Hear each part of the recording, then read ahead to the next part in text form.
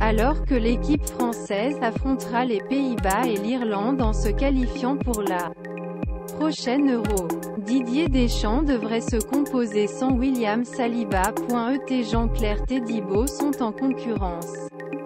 Pour le remplacer, il s'agit d'un nouveau coup à Didier Deschamps, tandis que l'équipe française se réunira lundi prochain à Clairefontaine avant de faire face aux Pays-Bas et en Irlande.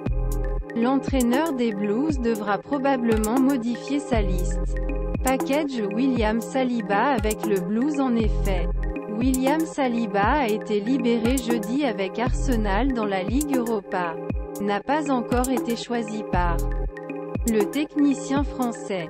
Deschamps est maudit. Nouveau coup dans l'équipe française KZ0BVMVYJC Twitter, LMNJMVIVQZ, le 10 Sport 18 mars 2023. Dizazi et Todibo sont en compétition.